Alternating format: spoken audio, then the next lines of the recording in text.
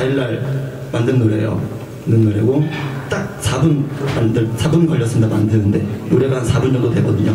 그래서 그날 여자친구랑 헤어지고 밤새 술 먹고 만든 노래예요. 그래서 2005년도니까 한 8년 정도 된 거잖아요. 8년 정도 된 건데 그동안 노래를 아예 못 부르다가 요새 좀 마음이 정리가 되었고 부르기 시작한 노래거든요. 앨범에는 안 들어있고 다음 앨범은 아마 안 들어갈 것 같아요. 사장님이 별로 안 좋아하셔가지고 사장님은 슬픈 노래를 싫어하시더라고요. 그래서 아무튼 그런 사연이 있는 노래입니다.